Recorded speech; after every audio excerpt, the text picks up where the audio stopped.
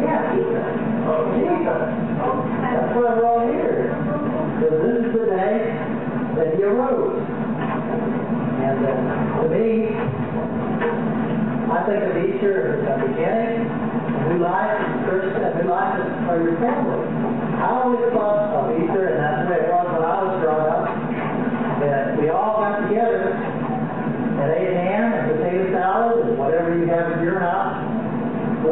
Easter was a beautiful day. It started off, which we did this morning, going to church at 7 o'clock this morning, and there was 27 of us down there.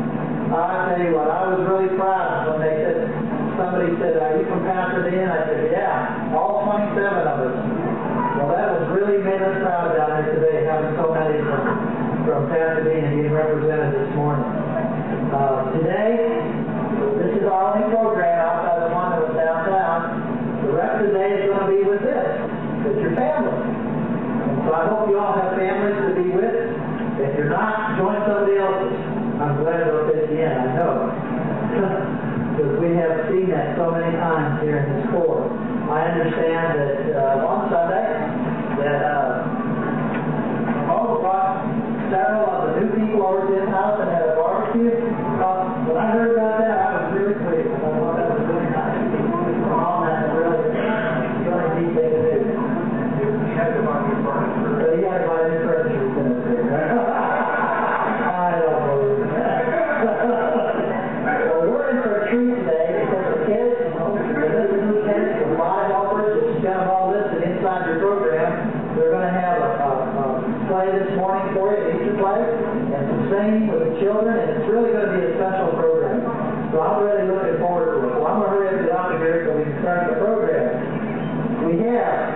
Tuesday, 6 o'clock, Girl Guards and Sundays.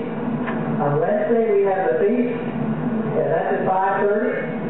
And Thursday, we have morning home league at 7, evening home league, I mean at 10, early, uh, evening home league at 7, and SAAC at 6 with the boys.